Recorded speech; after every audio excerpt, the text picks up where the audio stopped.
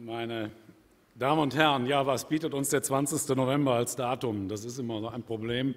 Gut, seit heute Morgen wissen wir, dass der von uns alle sehr viel geschätzte Kabarettist ne, Hildebrand verstorben ist. Aber das ist nicht alleine. Wir haben hier wirklich einen sehr bekannten und geschätzten Menschen ja, in Deutschland verloren. Aber wie gesagt, das ist es nicht alleine. Die Geschichte gibt leider Gottes für den 20. November nicht viel her. Und es besteht kein denkwürdiges Datum, keine große Tat in der Politik, ne, der Wirtschaft, kein Jahres-, kein Jubiläumstag, äh, mit dem ich meine Rede beginnen könnte.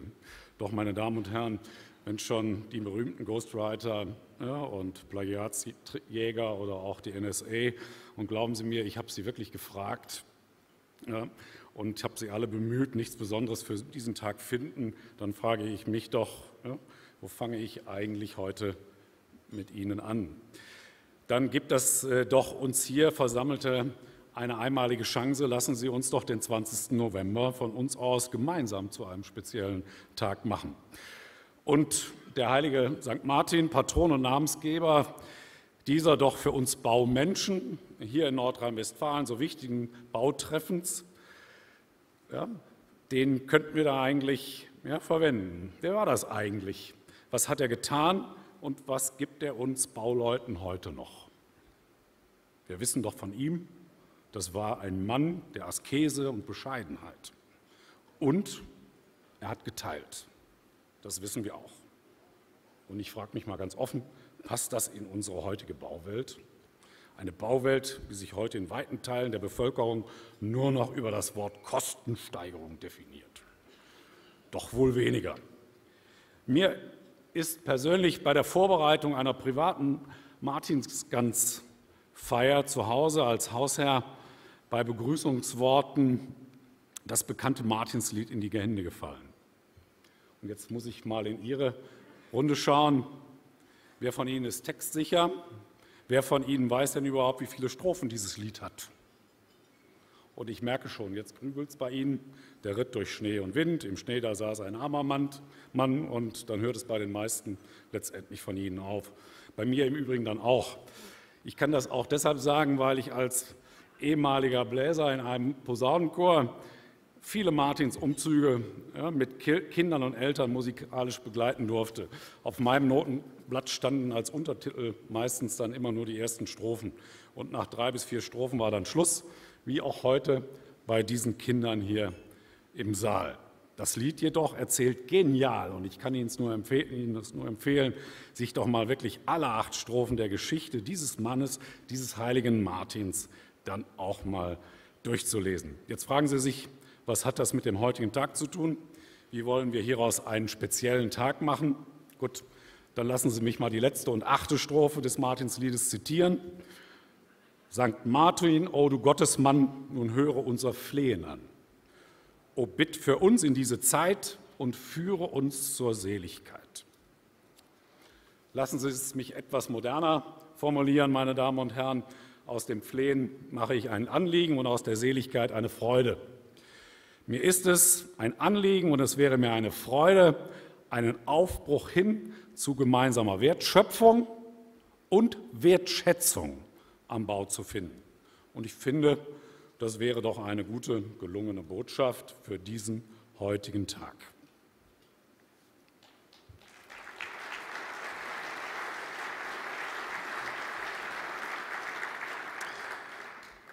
Zwei Themen haben die Bauindustrie Nordrhein-Westfalen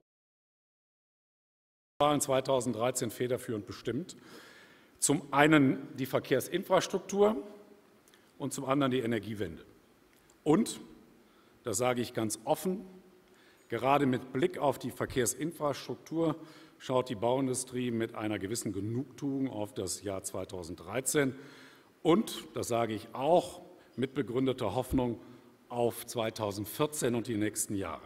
Endlich, meine Damen und Herren, endlich ist, die, ist in Politik, Medien und Bevölkerung die Bedeutung und Notwendigkeit einer funktionierenden äh, Verkehrsinfrastruktur nachhaltig ins Bewusstsein gerückt. Jahrelang gingen die Investitionen in Straßen und Brücken, in Schienen und Verkehrswegen zurück. Die Bauausgaben waren stets die ersten, die im Zuge von Sparmaßnahmen, insbesondere bei der Instandhaltung, gekürzt wurden. Investitionen in Köpfe statt in Beton waren en vogue, waren erklärte Ziele. 2013 nun bereits erste Anfänge für eine 2013 sind nun bereits erste Anfänge für eine stärkere Gewichtung der Verkehrsinfrastruktur gemacht worden, zum Teil durch dramatische Auslöser, wie natürlich auch ja, eine sehr medial ausgeschlachtete Brückensperrung der A1 bei Leverkusen.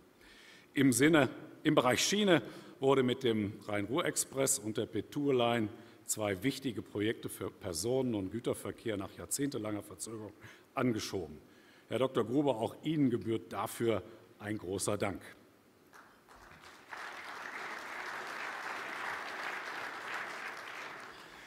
Wir, meine Damen und Herren, wir, die Bauindustrie, die Bauwirtschaft, haben schon immer gesagt, nur Investitionen in Köpfe und in Beton bringen Deutschland voran. Denn die klügsten Ingenieurleistungen helfen Deutschland nur weiter, ja, wenn die Wertschöpfung nicht nur in Asien, sondern an heimischen Standorten stattfindet und wenn der Industriestandort Nordrhein-Westfalen seine Attraktivität sichert, indem der Transport von Gütern zuverlässig über Autobahnen, Schienen, Wasserstraßen und Flughäfen abgewickelt werden kann. Doch unsere Straßen und insbesondere hier der Zustand unserer Brücken macht mir, meine Damen und Herren, natürlich gewaltige Sorgen. Nordrhein-Westfalen liegt als Region im Herzen Europas und ist zugleich einer der wichtigsten Verkehrsknotenpunkte. Ein immenser Anteil aller Güter des Exportweltmeisters Deutschland laufen über Nordrhein-Westfalen zu den Überseehäfen in Deutschland, in den Niederlanden und in Belgien. Zwei von der deutschen Bauindustrie mitgetragenen Gutachten zum Zustand der Brücken auf Autobahnen und Kommunalstraßen besagen, Allein die Brückenbauwerke in Nordrhein-Westfalen benötigen in den nächsten Jahren ein Investitionsvolumen von 7 Milliarden Euro. Und das ja, nicht nur für die Instandhaltung und Sanierung, sondern auch für den Ersatzneubau. Manche Autobahnen, wie unsere bekannte Sauerlandlinie A45, ja, müssen im Brückenbereich gar vollständig ersetzt ja, und neu errichtet werden. Nun, was ist uns als Bauindustrie Nordrhein-Westfalen in diesem Bereich bereits gelungen? Wir haben 2013 ein Positionspapier Infrastruktur und Standortqualität erstmalig mit 13 anderen Verbänden der Baubranche, den Kammern und, den, und der Logistik- und Verkehrswirtschaft gemeinsam als Wirtschaft Nordrhein-Westfalen unsere Interessen und Anforderungen an die Verkehrsinfrastruktur eines modernen Industriestandortes definiert. Und mit gewisser Genugtuung sage ich, dass dieses Papier mit unserer gemeinsamen Position so erfolgreich Eingang in die Politik auf Bundes- und Landesebene gefunden hat. Ausdrücklich unterstützen wir in diesem Zusammenhang ja, die Initiative von Nordrhein-Westfalen mit ihrem Bauminister Michael Groschek an der Spitze. Wir reparieren Deutschland. Herr Staatssekretär Adler, wie auch in diesem Jahr bestellen Sie Herrn Groschek einen freundlichen Gruß von uns allen. Er kann sich unserer Unterstützung hier und insbesondere der Bauindustrie Nordrhein-Westfalen sicher sein. Gemeinsam als Wirtschaft Nordrhein-Westfalen müssen wir uns dafür einsetzen, dass der Verkehrsinfrastruktur auch in 2014 der Stellenwert beibemessen wird, den sie als Grundsatzvoraussetzung für Wachstum und Wohlstand verdient. Und ich sage Ihnen, und Herr Dr. Grube weiß das genauso gut, er ist mittlerweile ein globales Unternehmen. In einer globalisierten Welt ist die Verkehrsinfrastruktur ein wesentliches Kriterium für Investitionen eines Unternehmens in einem Standort. Der Wirtschaftsstandort Nordrhein-Westfalen muss dabei wettbewerbsfähig bleiben. Gleiches, meine Damen und Herren, gilt für die Energiewende. Hier hat unser Symposium im Oktober gezeigt, dieses Jahrhundertprojekt, diesem Mehrgenerationenprojekt, wie es von vielen Seiten immer wieder bezeichnet wird, wird zunehmend der Stecker gezogen. Und dies liegt nicht nur an den steigenden Kosten für Bevölkerung und Unternehmen durch die Förderung der erneuerbaren Energie. Nein, vor allen Dingen ist dies auf den stockenden Ausbau der Netzinfrastruktur zurückzuführen und zweitens auf eine mangelhafte Koordinierung und Planung zwischen Ländern und Bund. Hier gilt es, meine Damen und Herren, ohne die Baubranche keine Energiewende. Wir liefern die Grundlage für eine erfolgreiche Umsetzung. Wir liefern die Infrastruktur. Sei es der zu viel zu langsam vorankommende Leitungsbau, der Übertragungs- und auch der Verteilnetze. Allein 4.000 Kilometer im Höchstspannungsnetz und nahezu 135.000 Kilometer im Verteilnetz werden bis 2030 als reiner Ausbaubedarf benötigt. Hinzu kommen noch einmal mehr als 2000 Kilometer Leitungen für den Wind-Offshore-Bereich. Oder seien es ja, die unter dem gegebenen Stromdesign nicht rentablen Pumpspeicherwerke, meine Damen und Herren. Die erneuerbaren Energien müssen Verantwortung für die zuverlässige Stromversorgung von Bevölkerung und Industrie übernehmen. Dies wird aufgrund der volatilen Einspeisung von Wind und Sonne jedoch nur durch Speicher gelingen. Nur das frage ich mich dann sehr oft, meine Damen und Herren. Wer soll diese unter den gegebenen Umständen bauen, betreiben und realisieren? Auf die finanziellen Schwierigkeiten selbst hochmoderner, flexibler und emissionsarmer konventioneller Kraftwerke möchte ich hier gar nicht erst zu sprechen kommen. Alle Akteure sind sich einig, dass es die nächsten zwei bis drei Jahrzehnte nicht ohne, ohne Kohle und Gas gehen wird. Das Gesamtbild ist entscheidend. Ohne stärkere gemeinsame Anstrengung wird die Energiewende nicht gelingen, bei, bei weiter steigenden Kosten. Die Planungs- und Investitionssicherheit für unsere Unternehmen leidet dramatisch darunter. Meine Damen und Herren, ein für mich nicht akzeptabler Zustand. Das Vorhalten von qualifiziertem Personal, von Ressourcen und notwendiger Technik stellt die Unternehmen bei mangelnder Planungssicherheit für unverantwortliche Herausforderungen. Bevor ich deshalb zu unseren Forderungen an die Koalitionsverhandlungen komme, darf ich doch noch eben einen konkreten Blick oder Rückblick auf das Jahr 2013 werfen. Wir müssen nicht darum herumreden. Der langanhaltende Winter hat die Branche bis weit ins Frühjahr 2013 geprägt und das Jahr bislang dominiert. Dennoch verzeichnen mehrere Sparten positive Ergebnisse. 20 Prozent Auftragszuwachs beim Straßenbau und 17 Prozent Zuwachs beim Wirtschaftsbau sind erfreuliche Anlässe. Man muss eben halt aber immer nur wissen, wo es herkommt. Gleiches gilt für, für 4 Prozent Zuwachs im Wohnungsbau ja, im ersten Halbjahr 2013. Diese Zahlen sind sicherlich auf die allgemein guten konjunkturellen Entwicklungen zurückzuführen. Der Tiefbau hingegen hat mit einem deutlichen Auftragsrückgang zu kämpfen. Und unter diesem Tiefbau subsumieren wir alles, was sich auch mit dem Ingenieurbau ja, dann äh, beschäftigt. Minus 5 Prozent bei den privaten Auftraggebern und mehr als noch minus 3 Prozent im öffentlichen Bereich machen der Branche doch sehr zu schaffen. Umso erfreulicher sind die Beschäftigtenzahlen in Nordrhein-Westfalen, die immerhin mit 127.000 Beschäftigten im Bauhauptgewerbe relativ konstant geblieben sind. Und dafür kann ich nur unseren Unternehmen ein deutliches Lob aussprechen. Allerdings möchte ich in diesem Rahmen auch einen Appell an unsere Unternehmen richten. 2013 haben in der Bauindustrie Nordrhein-Westfalen 10 Prozent, 10 Prozent weniger junge Menschen eine gewerbliche Ausbildung begonnen als im Jahr davor. Meine Damen und Herren, angesichts des akuten Fachkräftemangels müssen wir diesen Trend stoppen und umkehren. Wir als Bauindustrie und auch, das weiß ich, die Kollegen vom Baugewerbe haben das unterstützt und wir unterstützen alle Firmen bei diesem Prozess, bilden sie aus. Für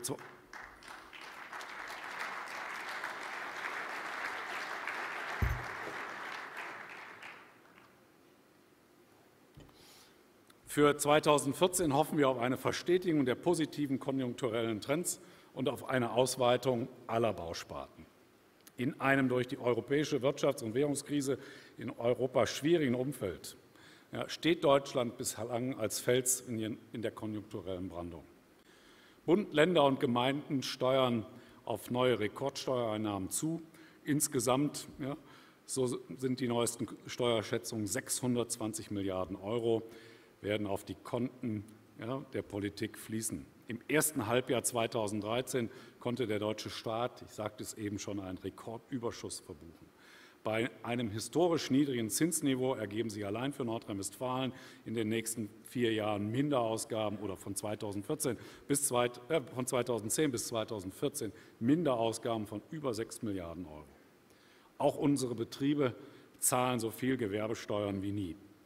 Allerdings, das möchte ich nicht verschweigen, ist die Finanzlage der Kommunen in Nordrhein-Westfalen leider sehr unterschiedlich. Teilweise kämpfen Städte und Gemeinden mit hohen Defiziten.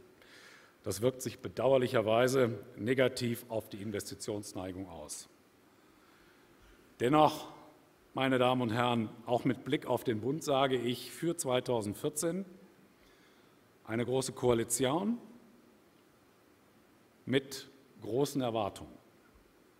Doch gilt auch große Koalition, große Erfolge. Die Bauindustrie Nordrhein-Westfalen appelliert nach den neuesten Entwicklungen in den Koalitionsverhandlungen an die beiden großen Volksparteien. Sie haben eine staatspolitische Verantwortung, meine Damen und Herren. Sie haben ein klares Mandat der Bürgerinnen und Bürger für eine stabile und verlässliche Regierung hier in Deutschland, unsere Zukunft zu sichern. Es muss gelten, erst das Land, dann die Partei. Nun, was ist die aktuelle Lage oder was ist der aktuelle Stand der Koalitionsverhandlungen in Berlin. Auf 7,2 Milliarden Euro jährlich hat die DERE-Kommission bereits Ende letzten Jahres das Defizit der Verkehrsinfrastruktur in Deutschland beziffert. Die Nachfolgekommission um Kurt Bodewig hat Anfang Oktober dieses Jahres infolgedessen sinnvolle Instrumente und Zeiträume zur Steigerung der Verkehrsinfrastrukturfinanzierung vorgestellt. Die Höhe der Summe allein macht aber deutlich, so eine Anstrengung können Bund, Länder und Kommunen nur gemeinsam schultern. Es braucht ein Mehr an Investitionen des Staates in die Verkehrsinfrastruktur. Die Arbeitsgruppe Verkehr und Bauen hat sich bereits darauf geeinigt, mehr Investitionsmittel für die Verkehrsinfrastrukturfinanzierung bereitzustellen.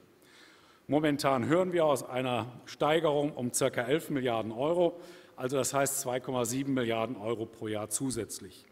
Diese Mittel sollen vorerst den bestehenden Nachholbedarf decken. Zudem soll dieses Geld im Sinne der Planungs- und Finanzierungssicherheit in einen verkehrsträgerbezogenen Infrastrukturfonds fließen. Damit wäre die von uns schon lange geforderte Zweckbindung der Mittel endlich dann mal erreicht. Ja, die Zweckbindung der Mittel, zum Beispiel in Form eines Sondervermögens, bewahrt die Investitionen vor dem Zugriff der Haushaltspolitiker und dem alljährlichen stattfindenden politischen Verschiebebahnhof. Es sieht doch danach aus, meine Damen und Herren, dass, die, dass der Sanierungsstau bei Straßen, Schienen und Wasserwegen somit endlich aufgelöst werden könnte. In einem zweiten Schritt sollen dem Erhalt der Verkehrsinfrastruktur dann ab 2017 zusätzlich jährlich 2,3 Milliarden Euro zufließen. Neben höheren Investitionen von Seiten des Staates kann ein, auf eine erfolgreiche Sanierung der Verkehrsinfrastruktur jedoch nur mit einer zusätzlichen ausgebauten Nutzerfinanzierung dann gelingen. Bislang ist die genaue Ausgestaltung dieser stärkeren Nutzerfinanzierung noch unklar. Aber, und das sage ich als Bauindustrie ganz deutlich, eine Ausweitung der Lkw-Maut auf kleinere Fahrzeuge und auf alle Bundes- und dann Landesstraßen ist auf einem guten Weg, aus Sicht der Bauindustrie unausweichlich. Und wir sagen ganz deutlich, die deutsche Verkehrsinfrastruktur benötigt die zweckgebundenen Einnahmen aus einer Pkw-Maut. Der Bau öffentlicher Infrastruktur muss sich an den Kriterien Nachhaltigkeit und Wirtschaftlichkeit messen lassen. Die Bauindustrie hat bewiesen, dass sie in den Bereichen Straße, in kleinen Teilen in der Schiene, im Bereich öffentlicher Hochbauten, öffentlich-private Partnerschaften auf ihre Tauglichkeit unter Beweis gestellt hat. Warum sollten gerade im steuerfinanzierten öffentlichen Bereich diese Modelle nicht auch weiter angewandt werden können, meine? Private Bauherren können aufgrund anderer privatwirtschaftlicher Rahmenbedingungen Projekte effizienter, pünktlicher und auch von höherer Qualität leisten. ÖPP-Projekte können mittelstandsfreundlich ausgestaltet werden. Gerade im öffentlichen Hochbau haben sich ÖPP-Projekte mittelstandsfreundlich bewährt. ÖPP-Projekte müssen demnach sinnvoll ausgeweitet und nicht zurückgefahren werden. Denn privatwirtschaftliche Investitionsmittel sind in Deutschland mehr als ausreichend vorhanden, meine Damen und Herren. Ich fasse deshalb das einmal ganz kurz zusammen. Erstens mehr Mittel aus dem öffentlichen Haushalt auf allen Ebenen. Zweitens eine stärkere Nutzerfinanzierung. Und drittens privat finanzierte ÖPP-Projekte. Diese drei grundlegenden Finanzierungsmodelle sichern die Zukunft der Infrastruktur hier in unserem Land, in Nordrhein-Westfalen. Und sie sichern damit die Wertschöpfung am heimischen Industriestandort. Und zum Stichwort heimische Wertschöpfung. Investitionsruinen wie die immer wieder bezifferten unrentablen, gerade aber neu errichteten und mit modernster Technik ausgestatteten Kraftwerke passen nicht in mein Bild einer heimischen Wertschöpfung. Wir fordern den Neubau und den Ausbau konventioneller Kraftwerke für eine Erneuerung des Kraftwerksparkes mit höheren Wirkungsgraden. Modern, flexibel und sauber. Die Arbeitsgruppe Energie der Koalitionsverhandlungen hat dazu beschlossen, und ich zitiere, der wirtschaftliche Betrieb notwendiger Kapazitäten konventioneller und flexibel einsetzbarer Kraftwerke muss möglich bleiben. Die Verhandlungsführer wollen das EEG bis Ostern 2014 grundlegend reformieren. Ich finde, das ist ambitioniert, aber der Bedeutung der Aufgabe angemessen. Die erneuerbaren Energien sollen in Zukunft in einem berechenbaren Korridor planbar ausgestaltet werden können. Dieser Ausbau soll mit dem Ausbau der Netze koordiniert und abgeglichen werden. Man spricht hier von einer synchronisierten Planung. Dieser Ausbaukorridor soll sowohl ja, der konventionellen Energiewirtschaft, der erneuerbaren Branche wie auch den Netzbetreiber, aber vor allen Dingen auch uns und somit der Bauindustrie die notwendige Planungs- und Investitionssicherheit ermöglichen. Eine Vereinfachung und Beschleunigung des Planungsrechts wäre eine weitere sinnvolle und dringend notwendige Maßnahme, meine Damen und Herren. Zwei Gründe, zwei Gründe zerren momentan an der Akzeptanz der Energiewende in der Bevölkerung. Erstens ist es die Diskussion um die Kosten und zweitens sind es die Infrastrukturprojekte. Und deswegen setzen wir uns beim Ausbau der Infrastruktur für eine umfangreiche Erdverkabelung ein. In der Nähe von Wohnbebauung und von Landschaftsschutzgebieten fordern wir eine Pflicht zur Erdverkabelung im Sinne der Natur und vor allen Dingen im Sinne der Akzeptanz in der Bevölkerung. Und mein zweiter Punkt, meine Damen und Herren, die Koalitionspapiere lassen verlaufen, verlauten, die Überförderung der einzelnen Energieträger soll abgebaut und die erneuerbaren Energien stärker in den Markt integriert werden. Meine Damen und Herren, die Bauindustrie begrüßt jeden Abbau von Überförderung und überzogener Subvention. Doch das Zusammenstreichen der Ausbaupläne von Offshore-Windenergie können wir nicht gutheißen. Der Beitrag zur Sicherung der Grundlast durch Offshore-Energie bedarf einer stärkeren Würdigung. Unsere Unternehmen halten Personal vor, investieren in Technik und Ressourcen und die Koalitionäre korrigieren die Ziele nach unten. Die Betreiber von Windparks senken daraufhin ihre Investitionen und verringern damit die Nachfrage. Unsere Unternehmen verfügen jedoch nach wie vor über die Ressourcen und über die notwendigen Mitarbeiter. Die Folge ist ein immenser Preisdruck auf unsere Unternehmen. Das werden wir nicht akzeptieren. Meine Damen und Herren, ganz kurz mal zum schlafenden Riesen Energieeffizienz. Das KfW-Programm zur energetischen Gebäudesanierung soll aufgestockt und vereinfacht werden. Darüber hinaus soll die Sanierung über fünf Jahre jährlich mit einer Milliarde Euro steuerlich gefördert werden. Auch das sind gute Ansätze in dem Koalitionspapier. Doch ein weiterer Punkt, Neben der Finanzierung von Projekten, so höre ich regelmäßig aus den Kreisen unserer Firmen, mangelt es auf Seiten der Auftraggeber oftmals an ausreichenden Planungskapazitäten. Dies hängt, und das sage ich ganz deutlich, auch mit dem seit Jahren fortschreitenden Personalabbau in den öffentlichen Planungsbehörden zusammen. Wir, meine Damen und Herren, angesichts der kommenden Mehrinvestitionen im Infrastrukturbereich muss der Personalabbau in der, Personal in der Bauverwaltung gestoppt werden. Das ist ganz klar unsere Meinung.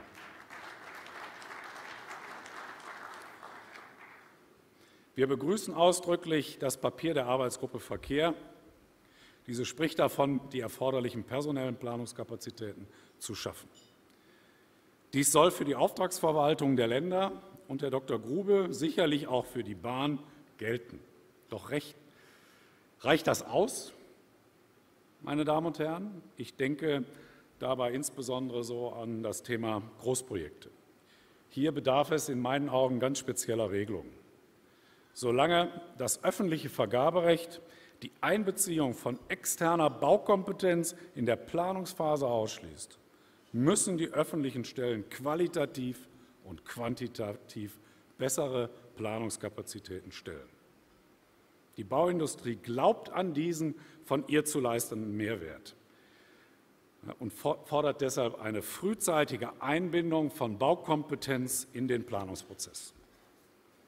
Und genau aus diesem Grund setzen wir uns bei Großprojekten für spezifische Vergaberegeln mit einer Stärkung der Bauherrenkompetenz und neuen partnerschaftlichen Vertragsmodellen ein.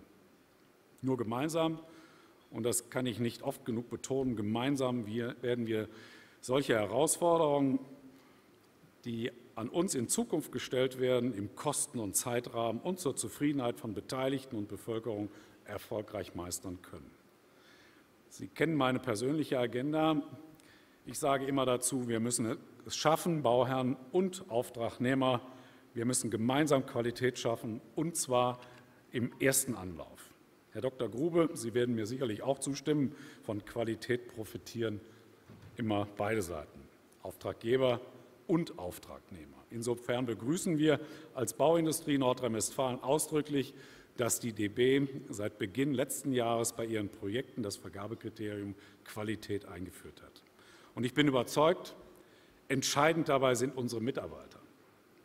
Der Mensch ist im Wettbewerb entscheidend, denn unsere Mitarbeiter entwickeln die Qualität unserer Bauleistung. Ich bin aber auch überzeugt, meine Damen und Herren, zu einer gemeinsamen Wertschätzung und Wertschöpfung auf Seiten des Bauherrn gehören folgende Kriterien eine qualifizierte Planung, eine transparente Vergabe und eine kompetente Projektabwicklung.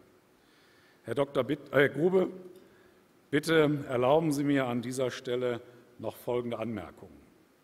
Unsere Branche, und das ist uns allen bekannt, ist äußerst personalintensiv. Unsere Unternehmen gehen mit ihren Leistungen stets in Vorlage. Bauwerke werden stets als Unikate produziert.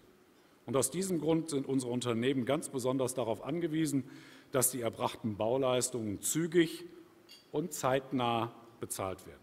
Nur auf diesen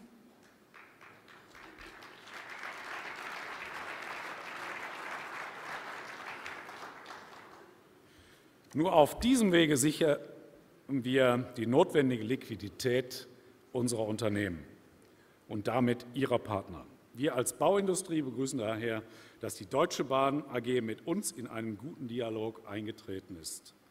Gemeinsam entwickeln wir effektivere und fairere Verfahrensweisen im Umgang mit geänderten Planungen. Der Aufbau personeller Ressourcen sowie die Optimierung von Prozessabläufen für eine zeitnahe Bezahlung sind dafür die richtigen Schritte. Bestehen unterschiedliche Auffassungen über die Abrechnung von Bauleistungen, sollten wir gemeinsam nach sachgerechten und wirtschaftlichen Lösungen für beide Vertragspartner suchen. Möglich wäre dies zum Beispiel dann über die Einschaltung einer Clearingstelle. Wir sind überzeugt, auf diese Art und Weise kann der Gedanke von partnerschaftlichem Umgang miteinander gelebt werden. Sehr geehrter Herr Dr. Grube, wir danken Ihnen ausdrücklich, dass Sie und Ihre Kollegen diese sicherlich in Ihrem Hause nicht immer einfachen Diskussionen mit uns hier zu führen. Seien Sie gewiss, die Bauindustrie ist sich an dieser Stelle ihrer Verantwortung bewusst. Wir werden unseren Anteil als Bauindustrie zum Gelingen einer verbesserten Partnerschaft beitragen. Und deshalb möchte ich heute einen Appell an uns alle richten. Denken wir stets auch an den anderen. Und ich habe es ja schon in meinen einleitenden Worten gesagt. Und äh, denken wir in diesem Sinne an das, was uns St. Martin vorgelebt hat. Es ist an uns, meine Damen und Herren, und ich rufe Sie ausdrücklich heute Abend dazu auf, St. Martin, dieser Mann der Askese und Bescheidenheit, war sein Leben lang geprägt von seinem Tun für andere Menschen.